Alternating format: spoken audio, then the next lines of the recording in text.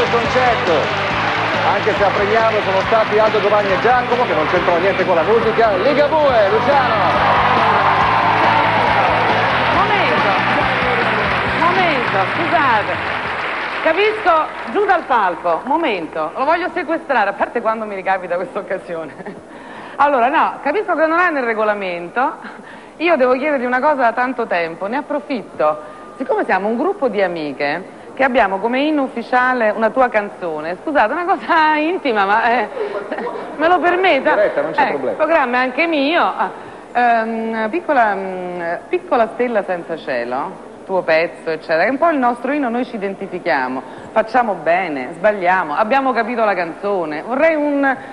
Questa piccola stella è una donna che dovrebbe Fare- essere amata di più? Fate bene comunque in ogni caso perché l'interpretazione deve essere sempre soggettiva. Ecco.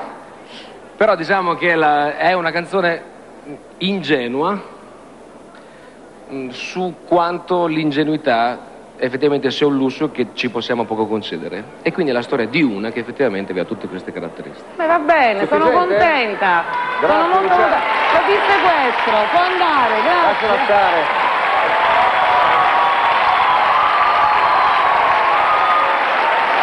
Ciao, complimenti.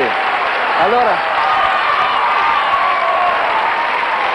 la proiezione si fa però con la consegna ufficiale del PIM, perché il PIM, Premio Italiano della Musica, è anche una cosa che ha una forma un po' strana. Voi adesso non ridete quando la vedete, però era difficile mettere insieme i due simboli di musica e di radio DJ. Comunque, a consegnare questo premio c'è un personaggio che in questo modo ribadisce uno dei concetti della serata, cioè che l'importante è esserci, visto che lui in questo caso era anche un tuo avversario, visto che aveva la nomination come altro tour importante. Giovanotti!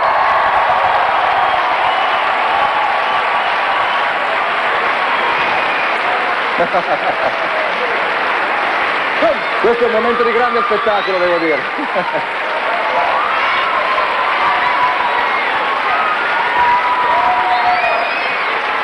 Lorenzo, tu che sicuramente lo sai fare meglio di me, intervista a Ligabue, dai. Allora, io credo eh, Guarda, le che... camere sono quelle. No, ah, di là, eh, perché il, eh, ah, il contrario.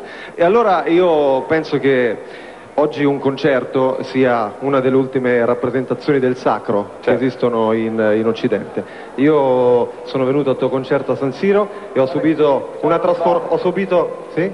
Sì, Lorenzo ha un bacio stampato su una guancia che non è molto sacro ma È non il fa tuo, niente. è il tuo, è il tuo rossetto.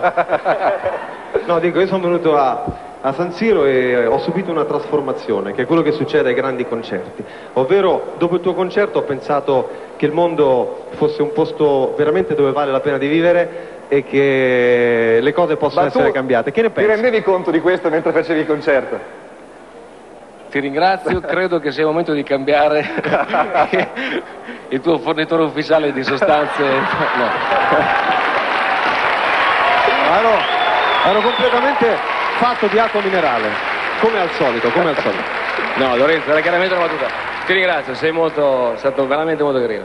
No, e credo che sia una cosa effettivamente troppo grossa quella che hai detto. Io credo che i concerti vanno, vis- vanno vissuti effettivamente come una possibilità di una cosa che si svolge facendo in modo che l'emozione fluisca senza filtri quali televisione e, e altro, e altro genere. Devo dire che lì si, viene, si arriva un po' alla prova dei conti. Mi piace l'idea che la prova dei conti sia frontale, senza troppi filtri, senza troppi aggeggi, senza troppi strumenti.